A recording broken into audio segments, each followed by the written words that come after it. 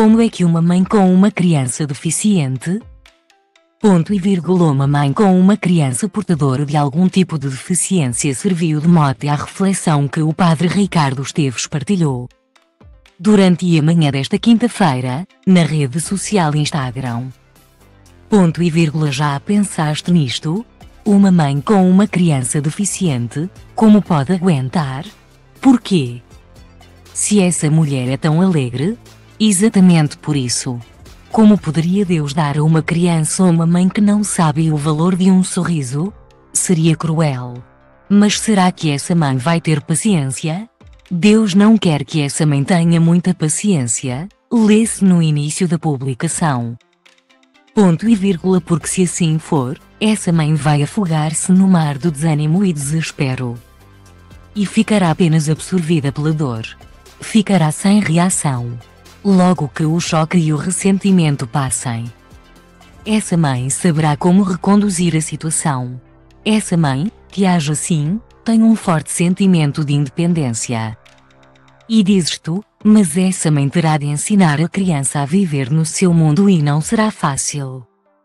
Deus dirá, essa mãe possui o egoísmo no ponto certo, referiu, antes de antecipar mais questões que as pessoas poderão colocar. Ponto e vírgula dizes tu, egoísmo? E egoísmo, por acaso, é virtude?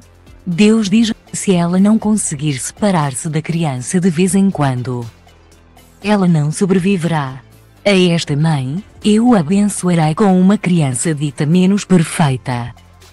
Ela ainda não sabe, mas esta mãe será ainda mais invejada, porque ela nunca permitirá uma palavra não dita.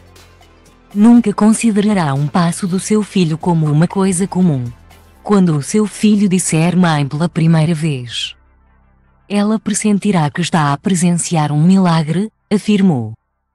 Ponto e vírgula quando esta mãe descrever um pôr do sol para o seu filho cego, ela verá como poucas já conseguiram ver a obra de Deus.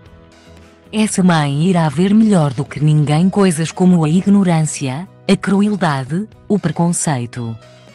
Mas eu irei ajudá-la a superar tudo. Eu até podia perguntar a Deus quem será o anjo da guarda dela.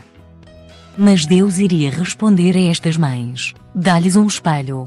É o suficiente, explicou o padre Ricardo Esteves. Ponto e vírgula quero dizer-vos como são especiais as mães que recebem um filho deficiente. Benditas sejam elas. Que possam saber que jamais estão sós. Sabes, no fundo, todos nós, de uma forma ou de outra, somos deficientes. Cada um de nós com os seus problemas. Dificuldades. Mas o maior deficiente é aquele que nunca saberá descobrir o amor e doá-lo ao outro. Um dia muito feliz para todos com Deus no coração, concluiu.